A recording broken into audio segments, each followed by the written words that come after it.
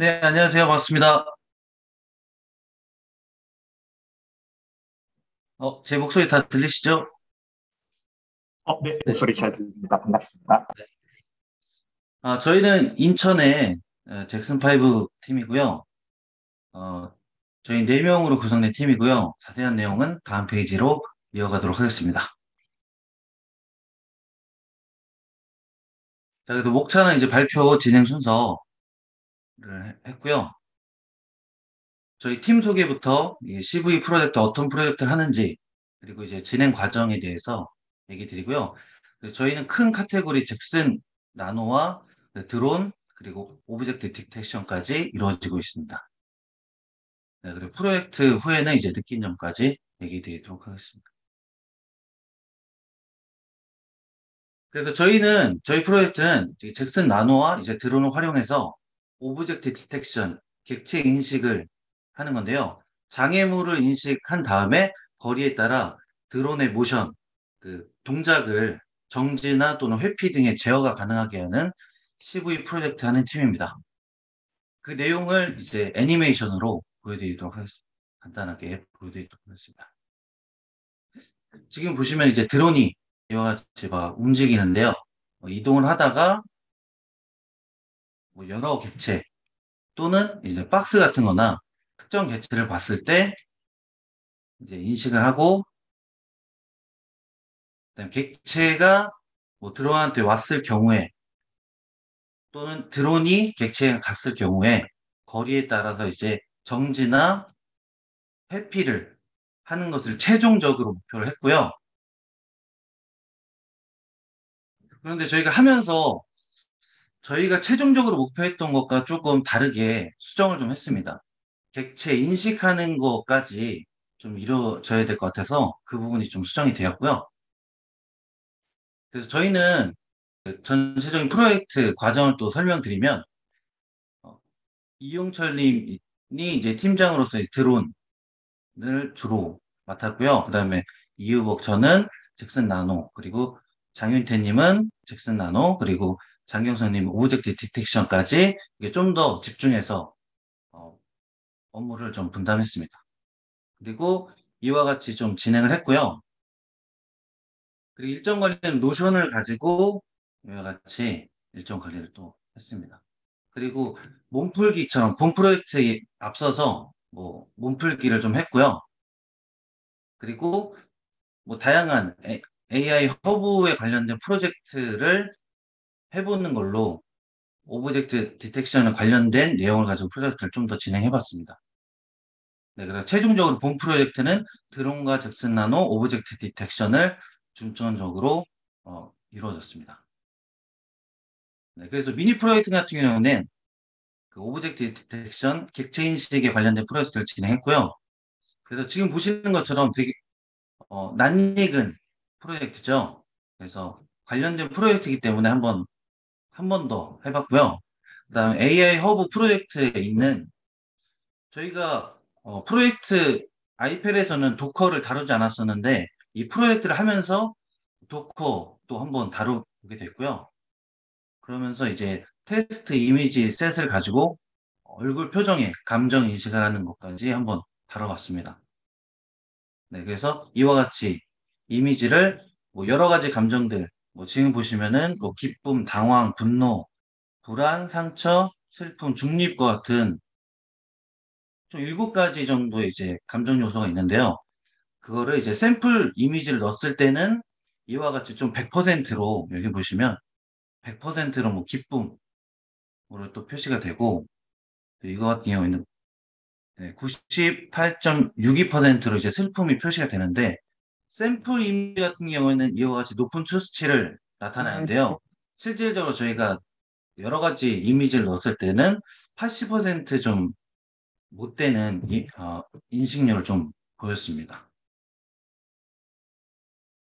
네, 그래서 저희가 큰 카테고리로는 Jetson Nano 그리고 네, 드론 그리고 object detection 이 세 가지로 나눠져 있는데요. 이 다음 내용은 다음 발표자가 해주도록 하겠습니다.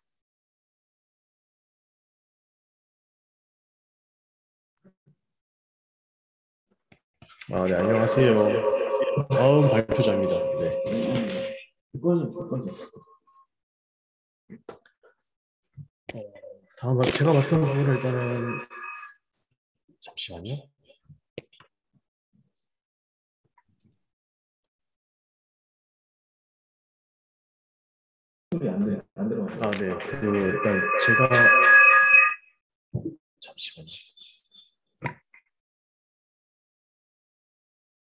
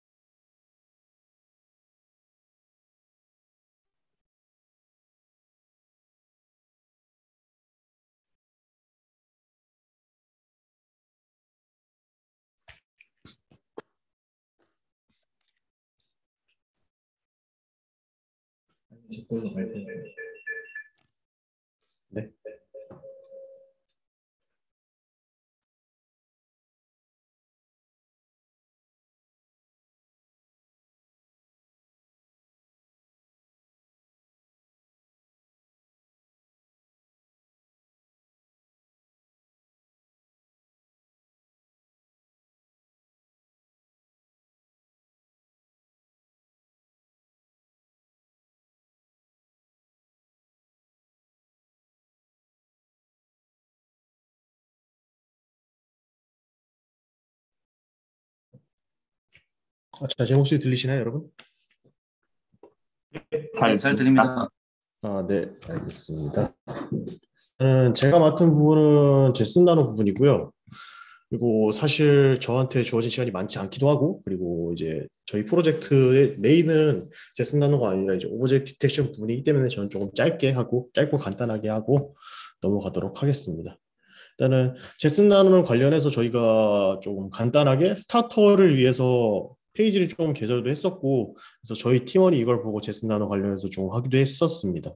그래서 일단 요거 이런 페이지가 있다는 것도 알아두시고 추후에 혹시 더 궁금하시거나 알고 싶으신 분들은 말씀을 하시면은 이 링크는 저희가 보내드리도록 하, 보내드리도록 하겠습니다. 일단 제슨 나노의 전개가 어떻게 되냐면 처음에는 조금 만만하게 봤어요. 처음에 Jetson Nano setup을 성공하고 나서 그 다음에 이제 V5 관련 reference를 확인하고 또 처음에 좀 리눅스를 다루는 게 익숙하지 않다 보니까 되게 고생고생하면서 완성을 했는데 이제 프레임이 너무 낮고 그래가지고 이건 제슨 나노가 감당을 못하겠구나 싶어서 그걸 포기하고 이제 V3로 넘어갔어요. 근데 세팅을 했는데도 불구하고 이제 더 낮은 모델인데 애가 프레임이 똑같은 현상이 일어나서 이것도 뭔가 문제가 있다라고 생각을 하고 있는 와중에 이제 저희가 드론이 연관된 프로젝트이기 때문에 로스가 함께 있어야 된다 하면서 동시에 이제 YOLO ROS 버전이 있는 걸 확인해서 이제 그거를 다시 또 프로젝트 다시 한번 바꿔서 이제 V4로 한번 해봤습니다. 3보다 V4에서 성능이 잘 나오고 프레임이 잘 나온다는 이야기를 봐가지고 그걸로 바꿔서 진행을 하려고 했는데 이제 또 V4 ROS 그러니까 YOLO V4와 ROS가 동시에 깔려서 Jetson Nano가 돌아가야 되는데 그게 성능 문제인지 다른 문제인지 정확히는 파악이 안 되는데 드론이 다운 그 아니, Jetson Nano가 다운이 돼 버리더라고요. 그래서 아 그러면 이거, 이것도 안 되겠다.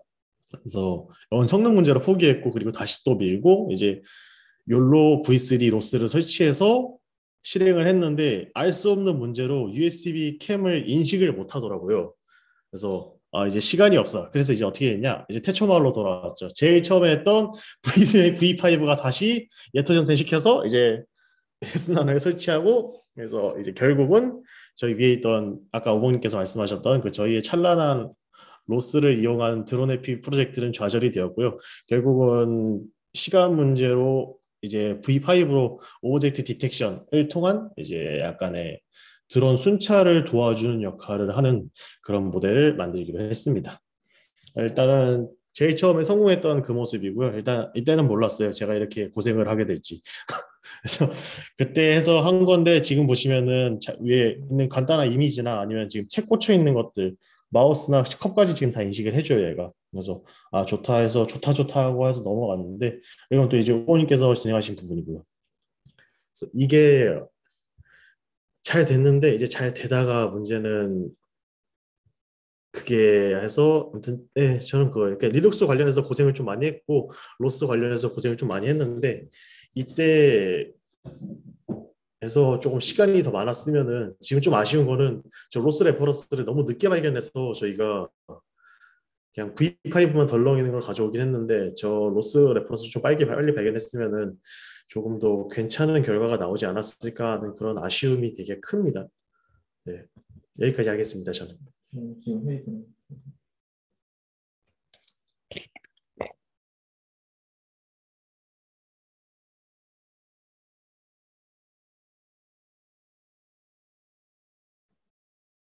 혹시 이어서 발표를 계속 진행해 주시는 분이 어떤 분이시죠?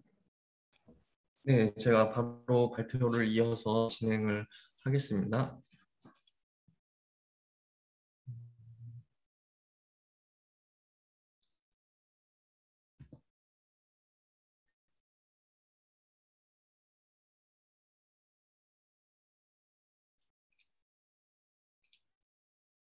화면 공유되어 안 되겠죠? 저- 저는 화면이 보이지 않아. 네. 혹시 한번 더 화면 공유해 보시겠어요? 네. 네.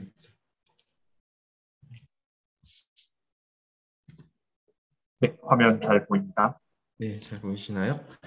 네, 그럼 저는 이제 드론에 관련돼서 이제 발표를 진행하게 될 이용철입니다. 어, 드론을 이제 하면서 저희가 이제 중간에 한번 프로젝트의 방향이 바뀌었어요. 그래서 task 1에서 task 2로 변경됐는데 어떤 식으로 이제 변경이 됐는지 이제 보면은 처음에 저희가 슬라이드 보기.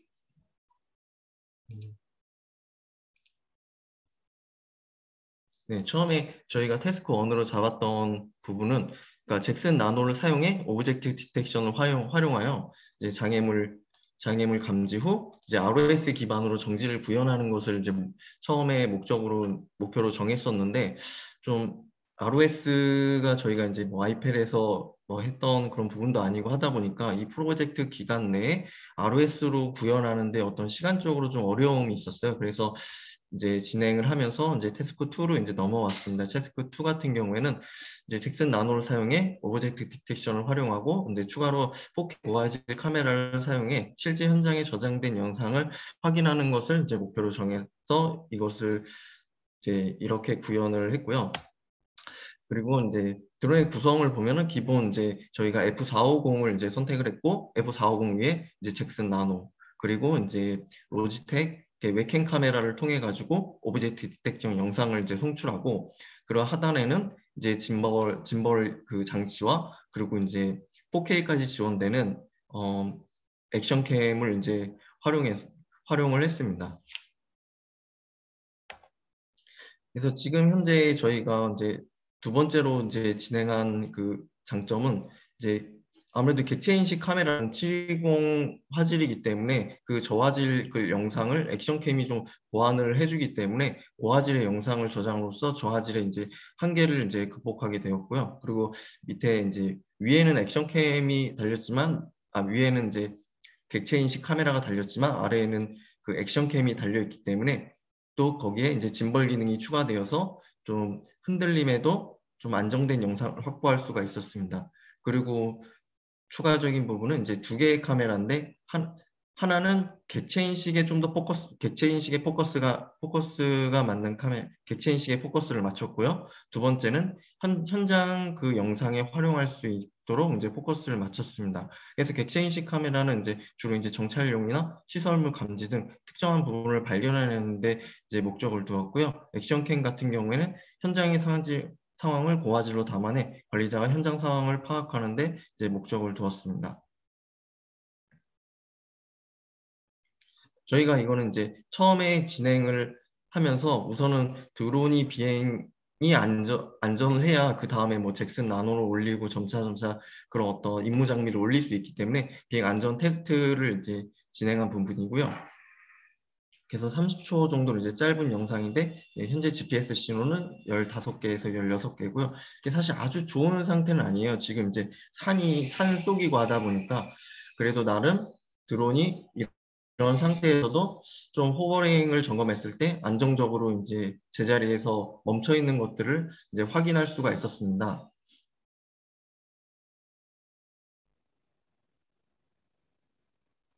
이렇게 우선은 드론의 안정성을 확보한 다음에 그 다음에 바로 저희가 이제 그 다음 태스크로 저희가 진행을 할 수가 있었는데요.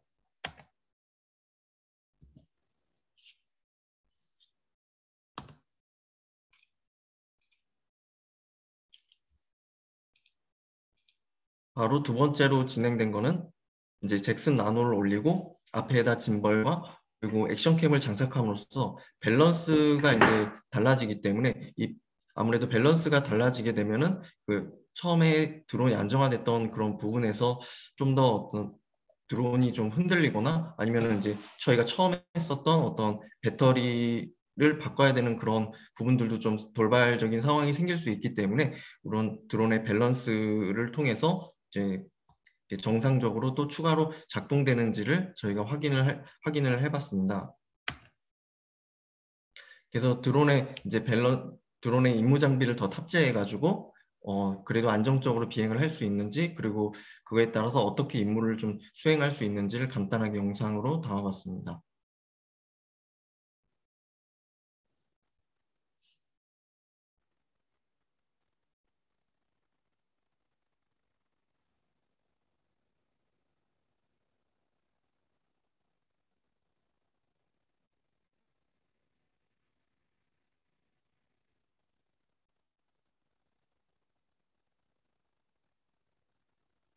네, 이렇게 두 개의 카메라가 지금 달려 있기 때문에 하나는 이제 산불 감시 같은 어떤 그런 목적이나 아니면 뭐 정찰용에서 어떤 특정한 객체를 인식할 때 위에서는 그거를 이제 감시하는 역할을 하고 밑에서는 이제 그 현장의 실시간 영상을 이제 담아낼 수 있는 용도로 활용되고 있습니다. 아, 활용할 수 있습니다. 그래서 이건 앞에 제가 설명했던 부분이고요. 이게 지금 보시면은 이게 저희가 만든 이제 최종 완성본이고요. 이게 위에 이제 객체 인식 카메라, 밑에 이제 짐벌 짐벌 장치와 액션캠을 저희가 장착을 했습니다. 그리고 저희가 사실 이제 원래 이 상태에서 나가서 이제 비행을 한 번 더 해서 이제 object detection이 되는 그 영상과 액션캠이 되는 그런 영상을 같이 담아내서 저희가 보여드리려고 했는데 그 저희가 아무래도 중간에 한번 변동이 되면서 그 프로젝트가 오늘 사실 이제 좀 마무리가 됐어요. 그러다 보니까 좀 영상보다는 사진으로 이제 좀 대체를 했는데 그 위에서 이제 object detection이 되는 그런 어떤 장면과 그리고 액션캠으로 이제 찍히는 그런 장면을 이렇게 저희가 이제 이렇게 넣었고요. 그래서 실질적으로 밖으로 나가게 되면은 이런 object detection을 활용하면서 액션캠으로도 이 영상 현장 영상을 담아낼 수 있다. 네, 여기에 이제 네, 중점을 두고 네, 여기에 네, 이렇게 할 수 있습니다. 네, 우선 제 발표는 여기까지고요. 다음 발표자분께서 이제 추가적으로 네, 발표를 진행해 주실 겁니다. 네, 감사합니다.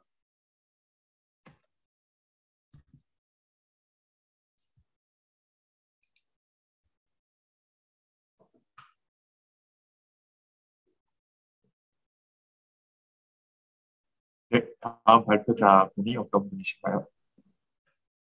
어, 경성님께서 발표를 이어서 진행해 주실 예정입니다. 어, 저 잠시만요. 저 화면 공유가 안 돼가지고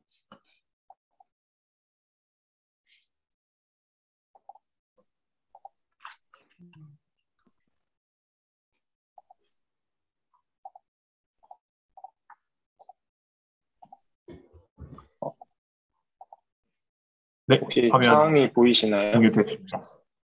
네, 네, 잘. 저는 어 이제 저희 프로젝트가 처음 기획되었을 때는 이제 드론이 장애물을 인식해서 그 장애물을 감지하면은 그 장애물에 부딪히지 않도록 이제 멈추거나 회피 기동을 하는 것을 목적으로 했기 때문에 어 그거에 맞춰서 이제 객체를 인식할 수 있는 욜로 V5 모델을 선택해서 제슨 나노에 탑재해서 처음에는 프로젝트를 진행했습니다. 근데 어, 그 프로젝트를 진행할 때 이제 저희가 맞닥뜨렸던 문제가 어, 프레임이 너무 낮은 프레임이 나와서 드론이 실시간으로 이동하는데 이제 화면은 그거를 온전히 따라오지 못해서 드론이 장애물에 부딪히고 나서야 이제 장애물을 인식하는 그런 경우들이 발생할 것 같아서 어, 이제 저희가 개선해야 될 문제가 제슨 나노에다가 욜로를 얹었을 때 그 YOLO의 인식 속도가 드론이 실제로 기동을 하면서도 어 바로바로 인식할 수 있을 정도의 어느 정도의 프레임이 나와줘야 된다라고 어, 이제 저희끼리 생각을 해서 아, 그러면 어떻게 YOLO를 조금 더 가볍고 간단하게 만들 수 있을까를 고민하다가 이제 custom dataset을 가지고 특정 객체만을 인식하도록 만들어 보자라고 해서 custom dataset을 가지고 YOLO를 다시 훈련을 하게 되었습니다. 그래서 보시면은 사실 YOLO V5보다 이제 더 가벼운 모델을 사용하고자 뭐 욜로 V3 다크넷이나 아니면은 YOLO X 같은 모델을 사용해서 또 이제 진행을 해보자 해서 어 YOLO V5 나 V5 nano랑 YOLO V3 Darknet, YOLO V, YOLO X 이렇게 세 가지 모델을 다 박스 dataset을 가지고 다시 트레이닝을 진행하였습니다. 그래서 어. 이제 박스 같은 경우는 어 dataset이 딱 만들어져 있는 것이 없었습니다. 그래서 저희가 뭐 이제 인터넷에서 사진을 구할 수 있는 것들과 또 저희가 돌아다니면서 찍었던 그런 박스 사진들을 가지고 Roboflow를 이용해서 어, dataset을 만들었고요. 그래서 dataset은 augmentation까지 적용해서 약 1000장 정도의 dataset이 만들어져서 어, train dataset과 validation이 약 8대 2 수준으로 나뉘어서 어, 학습을 진행했습니다. 그래서 뭐 Roboflow를 사용해 보신 분들은 다 아시겠지만 자신만의 workspace를 만들고 거기다가 만들고 싶은 dataset 사진을 업로드하면은 이제 뭐 labeling이 되어져 있는 사진들은 그대로 사용할 수 있고 또 labeling이 안 돼 있는 사진들은 직접 labeling을 진행해서 dataset을 만들 수 있는데 그렇게 해서 이제 또 내가 사용하고자 하는 그런 모델에 맞춰진 형식대로 dataset을 다운받을 수 있었습니다. 어, V, 이제 뭐 다크넷이나 욜로 X나 욜로 V5나 다 사용하는 dataset의 포맷이 달라가지고 처음에는 그저 다 같은 형식으로 사용된다라고 생각했었는데 어, 그런 게 아니어서 어, 이거를 진행하면서 조금 그 모델마다에 따른 dataset이 다 다르다라는 것을 한 번 더 공부할 수 있었고요.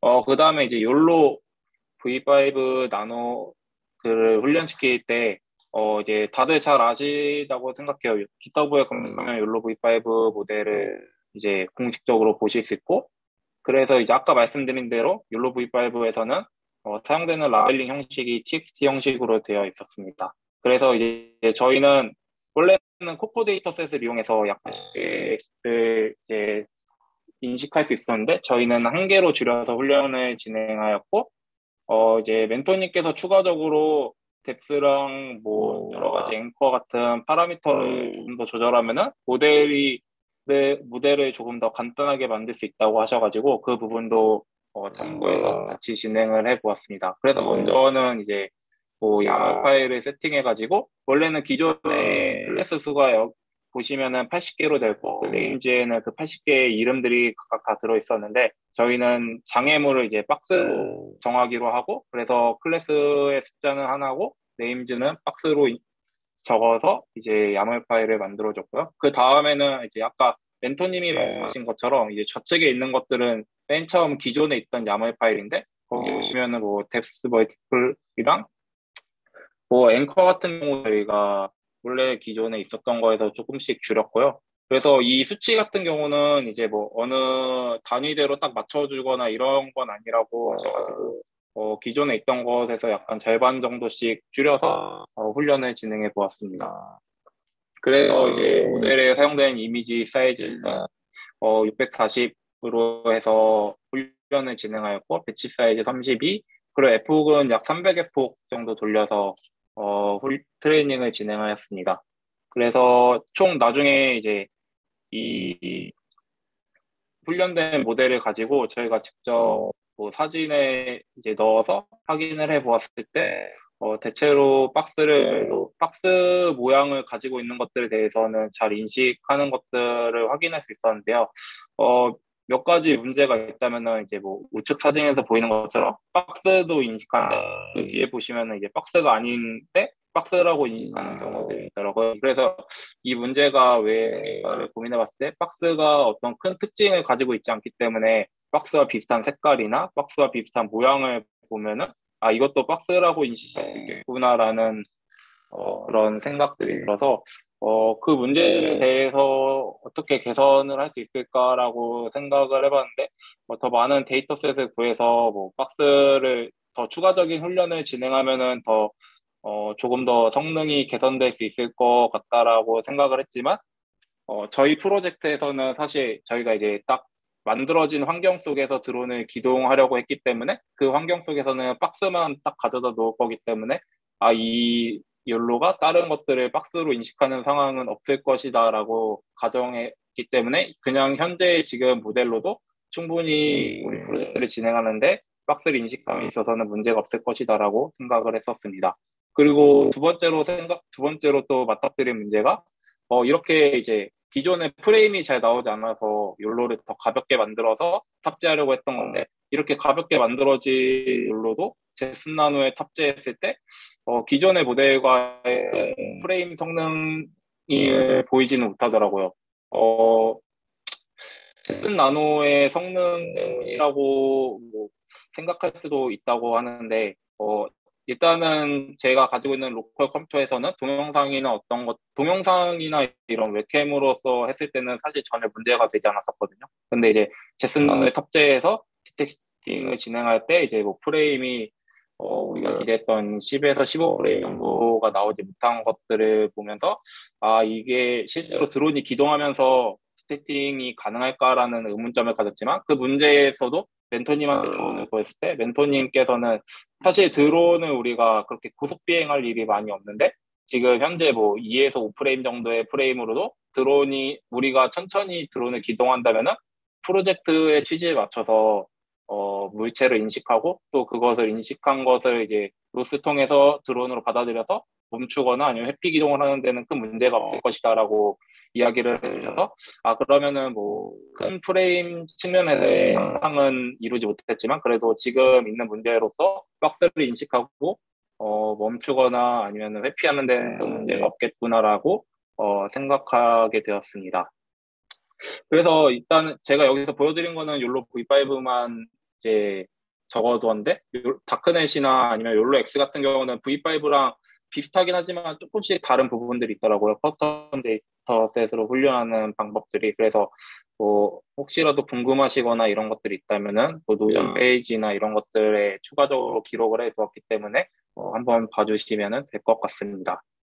그래서 일단 뭐 프로젝트를 이제 최종적으로 하면서 저희가 원하는 그런 뭐 멈추거나 아니면 회피 기동에까지는 이르지 못했지만 아까도 말씀드린 아까도 이제 먼저 전번 발표자 것처럼 드론의 이제 과 그런 어떤 object detecting을 진행하면서 뭐 산불 감시라던가 아니면 어떤 특정 임무들을 수행하는 데 있어서의 가능성은 충분히 있다라고 느낄 수 있었던 프로젝트고 또 이제 저희 멘토님이 그런 드론 분야에서 현업에서 일하고 계시던 분이다 보니까 그런 드론과 AI가 이제 접목돼서 지금 현재 어느 정도의 수준으로 이제 현업이 이루어지고 있는지에 대한 그런 얘기들이 많이 오가는데 어, 아직까지도 많이 좀 부족한 부분들이 있고 또 그런 부족한 부분들을 개선하기 위한 많은 연구 인력들이 부족하다라는 이야기를 들었습니다. 그래서 어, 저희가 여기서 완벽하게 구현은 하지는 못했지만 어, 이런 측면에서의 연구들이나 아니면은 뭐 조금 더 좋은 성능을 가진 장비들을 가지고 프로젝트를 진행한다면은 어, 충분히 좋은 결과를 이끌어낼 수 있지 않을까라고 생각이 들었습니다. 아, 네, 저는 발표를 이만지도록 하겠습니다. 어, 지금 욜로 5, 욜로 V5, 뭐 V, V3 그리고 다크넷을 사용을 하셨다고 들었는데 어, 이 외에도 제가 알기로 경량화된 모델이 많이 있는 걸로 알고 있어요. 근데 어, 굳이 어, 선택을 욜로 특히나 욜로 쪽으로 선택을 하신 이유가 있으신지 그게 좀 궁금하고요. 그리고 음, 그 외적으로 그러면 어, 코드를 경량화 시키는 방법에 대해서는 조금 생각을 해보셨는지 조금 궁금합니다. 어, 사실 그런 경량화된 모델이 다른 버전들이 있다라는 것들은 어, 저도 이제 이거를 좀 공부하면서 많이 보긴 했었어요. 유튜브에도 이제 YOLO가 아닌 다른 모델들을 통해서 그런 어떤 object detection을 진행하는 것들을 많이 보았고 했지만 이제 저희가 특별히 YOLO를 선택한 이유는 어 이제 아이패드에서 공부하면서 욜로에서 많이 접하기도 했었고 또 이제 최근 트렌드에 들어서 좋은 프레임 적인 측면에서의 성능을 보였기 때문에 아 이것이 제슨 나노에서도 충분히 구현이 가능하지 않을까라는 그런 생각 때문에 어 이제 욜로를 먼저 선택하게 됐고요.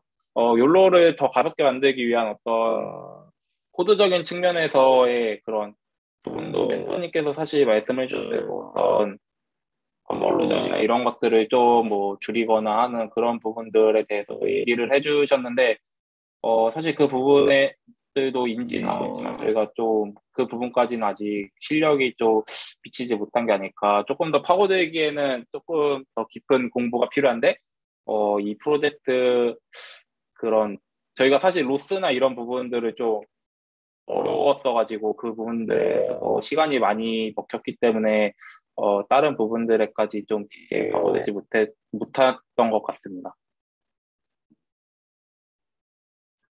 네, 설명 잘 들었습니다. 감사합니다. 혹시 또 질문해 주실 분 계신가요?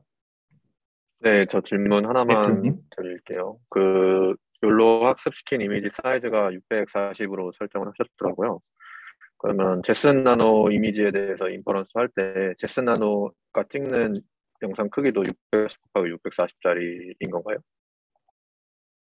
어, 그 제슨 나노에서 찍는 이미지 크기가 사실 더 컸기 때문에 이게 프레임적인 측면이 좀 낮았던 것 같다라는 생각을 이제 마지막에 돼서 하게 됐어요. 왜냐면은 저희는 그냥 요, 저희가 좀 잘못 생각했던 게 이제 욜로에서 그렇게 훈련을 당연히 들어오는 이미지 욜로가 그렇게 변환시켜 줄 거라고 생각을 했었는데 웹캠으로 받는 이미지는 더 해상도의 도화질의 이미지다 보니까 좀 이제 욜로에서 기존에 훈련됐던 것보다 더 많은 것들을 받아들이다 보니까 좀 그런 프레임적인 측면에서 문제가 있지 않았나라고 생각을 해서 그 욜로 아, 그 제슨 나노에서 받아들이는 이미지를 이제 좀 그 인풋 이미지의 사이즈를 좀 조절하려고 시도를 했었는데 그 부분에서 조금 막히, 막혔었던 것 같습니다.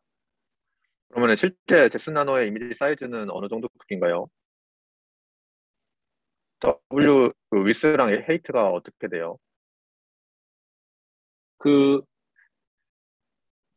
어, 제가 말하겠습니다. 그 일단은 실질적으로 했을 때 YOLO가 어, Logitech C270 기준으로 프레임은 7.5 프레임이 나오고요. 그리고 해상도는 1280에 960이 나옵니다. 아 그러면 inference 하실 때 이미지가 풀로 1280짜리가 들어가는 게 아니고 640으로 4개 4등분을 한 다음에 이제 각각 detection을 하는 방식으로 수행이 되는 건가요? 그 점이 되게 궁금했습니다. 어... 다시 한 다시 한 말씀해 주시겠습니까? 다시 한 네, 지금 이미지 사이즈가 1280 곱하기 1280이잖아요. 근데 object detection에서 수행 수행했을 때 이미지 사이즈는 학습을 수행한 이미지 사이즈는 640 곱하기 640이죠. 그러면은 1280짜리를 640으로 4, 4등분을 할 수가 있잖아요.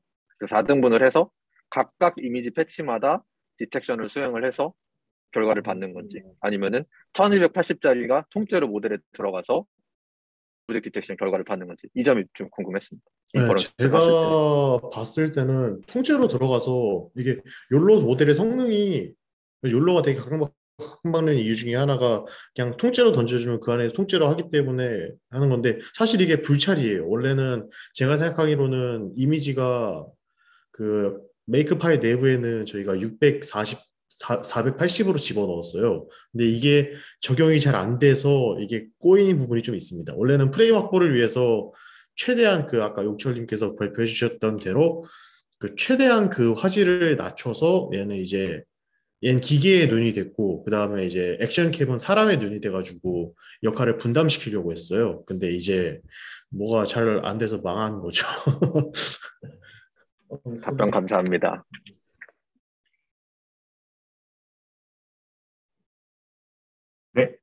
답변 감사합니다. 네, 다영민 질문 있으신가요? 네, 그 발표 잘 들었고요. 그 뭐 상처를 드리려고 싶은 말은 아닌데요. 이게 애초에 그 5주간 할 수 있는 프로젝트가 아니에요. 이거는 그 일단은 뭐 사람이 이미 기존의 뭐 전공자분들도 그런 혼자서 두 명에서 뭐 이제 한 달 안에 할 수 있다. 이것도 좀 갸우뚱한 문제고 지금 똑같은 주제를 제가 한 2018년도에 지금 잭슨 나노 간 나왔을 때 드론 탑재해서 동일한 주제를 한번 다 개인까지 다 완료를 했었거든요. 그때도 이제 YOLO 모델 쓰고 이제 뭐 ROS로 이제 뭐다 영상 받아서 다 이제 했었는데 그 당시에 저희가 프레임이 한, 한 15프레임까지는 제가 확인을 했었어요. 그러니까 그 이후로도 계속 이제 여기서 제일 중요한 문제는 이제 embedded 보드에서 얼마나 실시간성을 확보할 수 있냐. 그러니까 뭐 드론이 됐든 뭐 자율주행 차량이 됐든 그런 embedded 시스템에서는 굉장히 중요한 포인트거든요. 그 모델의 최적화, 아까 이제 지사님께서 말씀해 주셨던 것처럼 뭐 TensorRT를 사용하든 아니면 이제 뭐 별도의 이제 모델 최적화를 하든 뭐 그런 문제도 계속해서 이제 이슈로 나오는 거고 이제 아까 여기 도님께서 말씀해 주셨던 것처럼 그러면 inference에 대한 사이즈가 도대체 몇이 되느냐 내가 학습한 모델 사이즈와 어, 실제 내가 이제 이 embedded 모델에서 돌리는 그 이제 카메라에서 들어오는 인풋 사이즈에 대한 그 최적화에 대한 것도 결국에는 최종 실시간성을 보장할 수 있는 프레임으로 나오는 거거든요, 결과가. 그래서 이제 그런 부분이 이제 중요한 건데, 어, 이게 어디서부터 어디까지 이제 말씀을 좀, 좀, 그러니까 포인트별로 이제 좀 한 번씩 이제 말씀을 드리자면, 처음에 이제 그 발표를 해주셨던 미니 프로젝트, 이제 거기서 해야 될 부분은 오픈시드이나 이런 약간 영상 처리 기법에서 그러면은 인프레스된 그 이미지의 정보를 가지고 내가 장애물을 회피하든 아니면 이걸 추종을 하든 거기에 필요한 flag를 띄워줄 수 있는 그 미니 프로젝트가 됐었어야 했어요. 그러니까 단순하게 뭐 우리가 스티커 사진 붙이고 뭐 하는 행위보다도 그러면은 이제 inference 되고 나서 나오는 그 빅박스에 대한 정보를 가지고 어떠한 영상 처리 기법, OpenCV를 하면 뭔가 해줘야 되는 액션이 이제 좀 있었으면 좋았을 것 같고 그 다음에 이제 잭스나노 하드웨어를 건드는 순간부터 이거는 보통 프로젝트 기간을 지금 두 배, 세 배 잡아야 됩니다. 어, 일단 잭스나노 하드웨어를 사용한다는 거는 아까 성능이 계속 죽었다고 하는데 대부분의 문제는 잭스나노 자체가 굉장히 지금 성능이 낮아요. 그래서 어, 일단 그냥 이제 텐서프로에서 이제 모델 자체 돌리는 것만 해도 보고인데 보통의 문제가 이제 파워 문제랑 이제 메모리 문제로 이제 두 가지로 많이. 그러니까 5V로 쓰냐 12V로 이제 두 가지로 나눠지는데 12V를 쓸 때 이제 그 잭슨란을 사용하고 있는 그 리소스를 전체 다 사용하게끔 해주는 설정이 있고, 어, 그리고 이제 그 메모리 영역에 대해서도 이제 그 잭슨란과 가지고 있는 하드웨어 성능을 풀러내줘야만 이제 성능이 이제 모델이 죽지 않고 계속 돌려줄 수가 있는 거죠. 그래서 이제 뭐 버전에 대한 문제보다는 일단 그런 하드웨어 세팅에 대한 약간 이해도가 조금 시간이 너무 촉박했다. 약간 좀 그렇게 생각이 들고. 음, 특히나 이제 거기서 로스 기반으로 뭔가 카메라 이미지나 이런 것들 전체 통합을 시켰어야만 그 다음에 이제 드론에 탑재해서 날릴 때 우선으로 이제 지금 짐벌 카메라가 들어가는 것 자체가 지금 이미 그 우선으로 영상을 받지 못하니까 영상을 받지 못하니까 이제 짐벌 카메라를 달아서 되게 이중으로 이제 그렇게 비행 테스트를 하실 것 같은데 솔직히 그 비행 테스트는 조금 무의미하지 않나 좀 생각이 듭니다.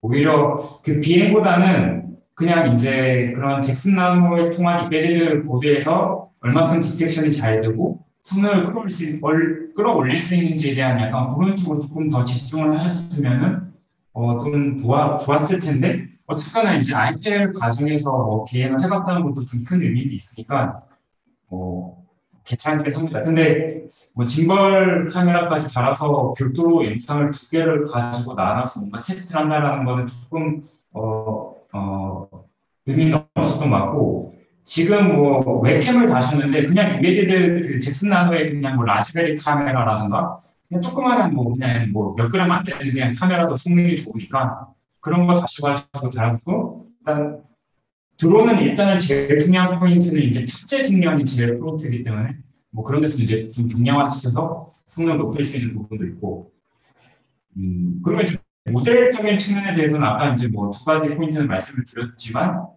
어, 그 아까 아까 말씀드렸던 인풋 사이즈 그리고 최적화 그리고 이제 그 모델 자체에서 나오는 그 빅박스에 대한 최종 결과 정보가 이제 내가 뭔가 탈출할 수 있는 정보로 받아서 뭔가 해볼 수 있느냐 그런 것까지 나왔으면은 이제 부분 부분 각 부분마다 그러한 그 결과들이 좀 나왔으면은 이걸 전체 통합을 해서 뭔가 최종 뭐 비행을 하는 거는 솔직히 뭐 이제 시간만 있으면 하는 것들인데 이제 각 부분 부분 부분에 대해서 약간 좀 부족함들이 어 조금씩은 다 있었던 것 같습니다. 근데 이게 제일 처음에 소두에 말씀드렸던 것처럼 그 이제 5주 안에 이제 각자 이거를 전공도 아닌 이 분야에 대해서 하셨던 것 자체가 일단 워낙 챌린지한 분야이기 때문에 어뭐 시도만으로도 일단은 뭐 대단하다고 이제 말씀드릴 수 있고 뭐 향후에도 이제 또 계속해서 연구를 하실 거면은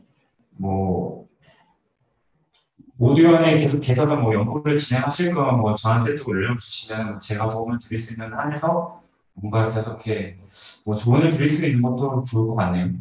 뭐 이게 일단은 이제 그 저는 약간 이제 비행 제어 전공에 이제 그런 시뮬레이션 쪽도 많이 이제 많이 하고 있는데 이 하드웨어 자체가 너무 어려워요. 그래서 어 제일 중요한 포인트 자체가 일단은 비행을 했을 경우에 그럼 장애물을 회피할 때 그 딥러닝 모델을 자, 사용한 이제 그런 제어 분야로 넘어갔을 때 그 안전적인 문제는 어떻게 보장을 하느냐는 솔직히 이거는 사람들이 듣고 보면 간과하는 문제거든요. 그렇게 장애물 해결할 때 내가 이그 이 드론에 대한 그 통제권을 어떻게 이걸 확보할 수 있느냐. 뭐 자율주행 차량도 마찬가지인 거죠. 내가 사람이 계획을 언제든지 이걸 할 수 있어야 되는데 그런 약간 프로그래밍적인 약간 이 어 뭐 픽소크를 이제 아마 사용하셨을 텐데 그 픽소크 자체에 대해서 내가 통제권을 어떻게 확보할 수 있는지에 대한 문제고 제가 예전에 되게 많이 고민했었던 것 같아요. 그 조종기를 통해 가지고 버튼이 가장 높은 우선권을 가질 수 있게끔 뭐 그런 문제도 있고 그렇기 때문에 보통은 이제 시뮬레이션 환경에서 많이 인파 테스트를 하죠. embedded 코드 자체를 가지고 와서 그런 시뮬레이션 환경에서도 많이 테스트를 하고 이제 이후에 하드웨어 단으로 넘어가는데 뭐, 뭐 시도는 좋았으나 시도는 좋았으나 어, 시간이 너무 촉박했다. 뭐 그렇게 좀 평을 할 수 있겠네요. 시도는 좋았습니다. 네, 박수를 쳐드리고 싶습니다. 큰 되게 어려운 주제예요. 그 네, 어려운 주제고 뭐, 아, 각 분야마다 좀 아쉬, 그러니까 제가 이게 제 분야이기 때문에 뭐 아쉬움이 저는 좀 많은데 좀 제가 미리 진작에 알았으면 좀 많은 도움을 좀 드렸을 텐데 아쉽네요. 다음에 다음 기회에 뭐 혹시 더 좋은 인연 되면 그때 많이 도와드릴게요. 어쨌든 뭐 저도 여기까지 하겠습니다. 감사합니다.